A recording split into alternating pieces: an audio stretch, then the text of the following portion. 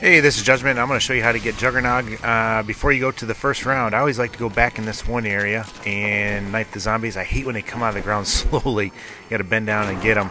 And then I like going to this middle area over here.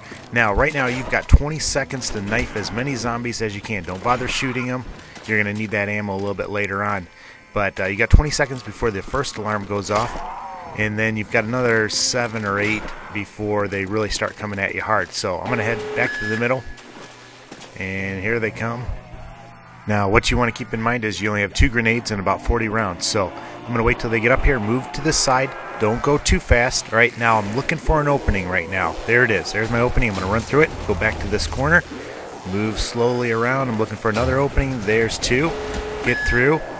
All right, now um, this next pass that I make, oh, there's more coming, so I'm going to once again go through an opening, and now I'm going to be throwing a grenade right here against this wall. It's going to bank shot. They're going to be following me right into it. And I'm going to take the majority of them down. Now I want to try and kill them. So I throw another grenade and get a little too close to that.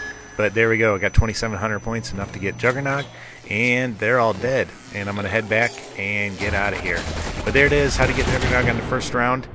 And hope you like it. Make sure you subscribe. And as always, take care and God bless, guys.